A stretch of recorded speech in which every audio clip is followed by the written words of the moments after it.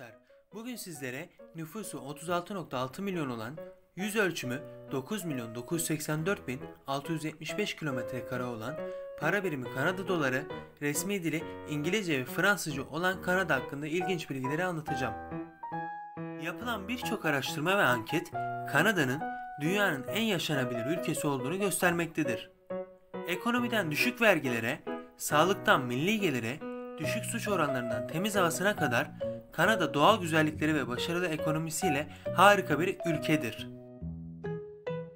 Dünyanın en yaşanabilir ülkesi Kanada hakkında ilginç bilgilere geçmeden önce kanala abone olmayı ve videoyu beğenmeyi unutmayın.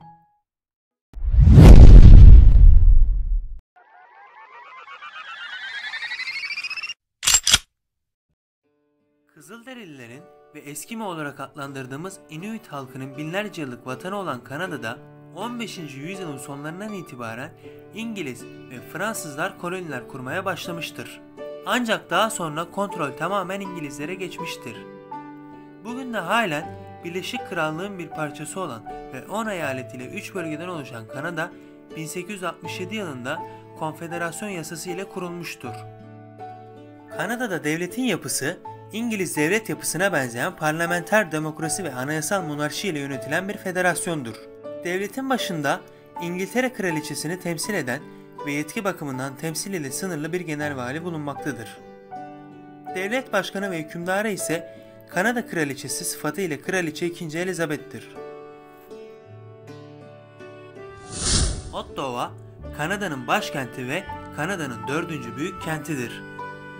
Toronto, Kanada'nın en büyük şehri ve ticaret merkezinin en önemli şehridir.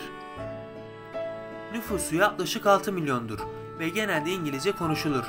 Nüfusunun %54'ünü göçmenler oluşturur. Vancouver, Kanada'nın batısında bulunan Britanya Kolombiyası eyaletine bir liman şehridir.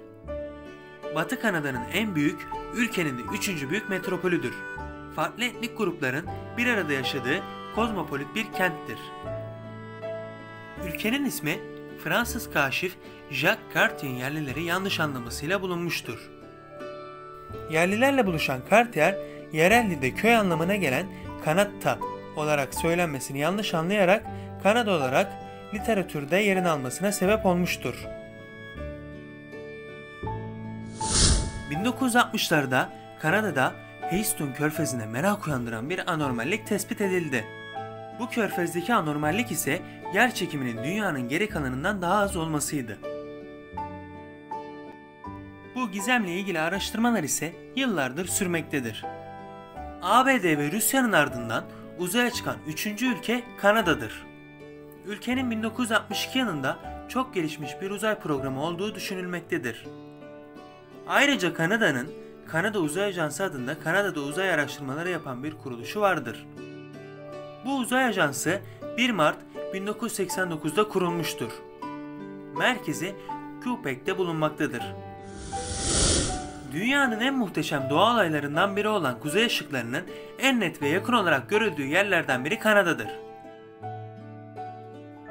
Kuzey kutbuna yaklaştıkça artan bu renk şöleni özellikle Kasım ve Şubat ayları arasında yeşilimsi bir parlaklık ve bazen de soluk bir kırmızı ile gökyüzünü aydınlatır.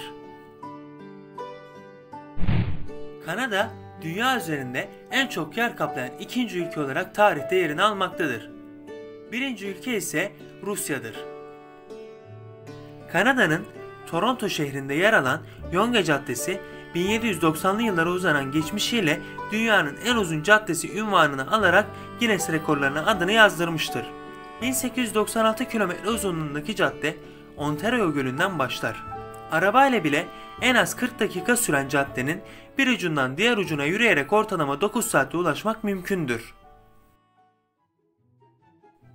Küçükken izlemelere doyamadığımız ünlü çizgi film kahramanı Winnie the Pooh ise Kanada kökenlidir.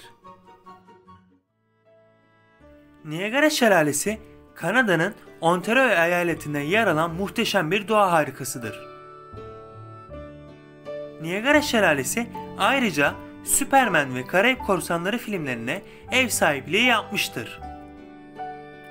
Ve Niagara Şelalesi Kuzey Kutbu'ndan gelen buz kütlelerinin yol açtığı çöküntülerden oluşmaktadır. Kanada'da bulunan göl sayısı dünyanın geri kalanındaki göllerin toplam sayısından daha fazladır. 3 milyonun üzerindeki göl Kanada'nın %9'unu kaplamaktadır ve dünya üzerinde bulunan tüm göllerin %60'ından fazlası Kanada sınırları içerisinde yer almaktadır. Özellikle Ontario bölgesinde 250 binden fazla göl bulunmaktadır. Son yıllarda Mars gezegeni ile ilgili yapılan araştırmalar ve yaşam belirtileri gündeme sık sık gelirken ortaya ilginç bilgiler de çıkmıyor değil. 1947 yılında Yukon'da kaydedilen eksi 63 derece sıcaklık yaklaşık olarak Mars yüzeyi ile aynı ısıya denk gelmektedir. Ortalama kış aylarında eksi 25'lere kadar düşen sıcaklıkların normal olarak görüldüğü Kanada, Mars ile ilgili haberlerle sosyal medyada sıklıkla gündeme gelmektedir. Kanada, Suudi Arabistan ve Venezuela'nın ardından dünyanın en büyük 3. petrol rezervine sahiptir. Kanada'nın Alberta eyaletinde yer alan Dinozor Eyalet Parkı, UNESCO Dünya Miras Listesi'ne alınmıştır.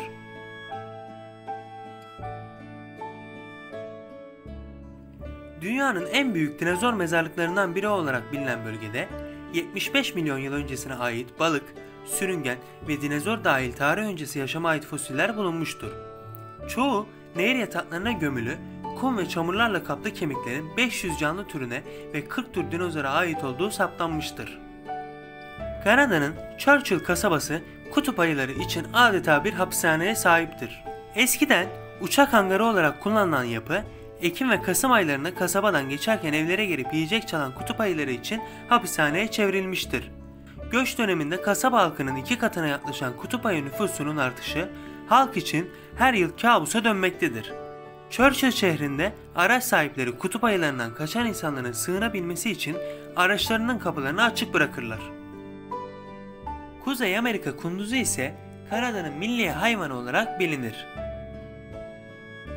Quebec eyaletinde yer alan Hotel de Glace, 400 ton buz ve 12 bin ton kar kullanılarak her sene tekrardan inşa edilmektedir. Kanada'da doğaya verilen önem ile toprakların büyüklüğü göz önüne alındığında Kanada'nın dünyadaki ormanların %10'una sahip olduğuna şaşırmamalıyız.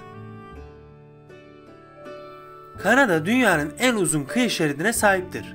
Kanada sahil şeridi yaklaşık 202.080 km uzunluğundadır. Kuzey Amerika ülkesi Kanada'nın eyaletlerinin çoğu Pasifik, Atlantik veya Arktik okyanuslarındaki kıyı şeridine sahiptir. Kanada'yı kıyı şeridinden tamamlamak için günde 20 kilometre yürüyüşle 33 yıla ihtiyacınız vardır.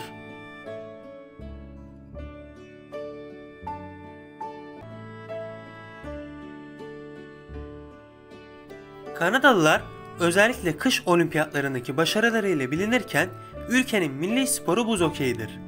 Ayrıca Kanada'nın Newfoundland şehrinde Atlantik Okyanusu bazen donar, öyle ki insanlar üzerinde buz hokeyi oynar.